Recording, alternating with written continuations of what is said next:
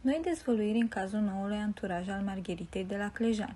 Fiul lui Dan Bitman este prieten la cataramă cu iubitul Margheritei de la Clejani și mai mult decât atât, ambii au fost prinși cu substanțe interzise. Alex Bitman, fiul cântărețului Dan Bitman, este prieten cu iubitul Margheritei de la Clejani. Tinerii fac parte din același anturaz, iar abia acum ies la iveală detalii neașteptate din trecutul lor.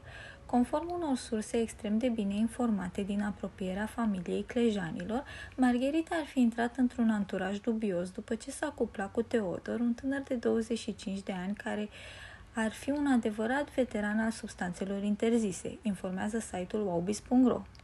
Iubitul Margheritei de la Clejan este și el artist. Face parte dintr-o trupă muzicală de trap intitulată Nordului, care promovează din plin în piese consumul de substanțe interzise.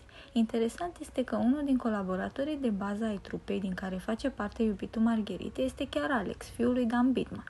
Alex Bidman și iubitul Margherite au dosare la DICOT pentru consum de substanțe interzise. Din păcate, Alex Bitman și iubitul Margheritei, Teodor, mai au încă ceva în comun. Amândoi au avut dosare la DICOT.